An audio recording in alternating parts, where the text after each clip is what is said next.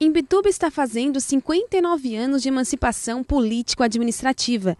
Mesmo sendo uma cidade jovem, o potencial de Imbituba é grande. Além das belas praias do município que movimentam o turismo, o porto de Imbituba também é uma fonte econômica da região e promete crescer nos próximos anos. As atividades esportivas também são atrativos da cidade.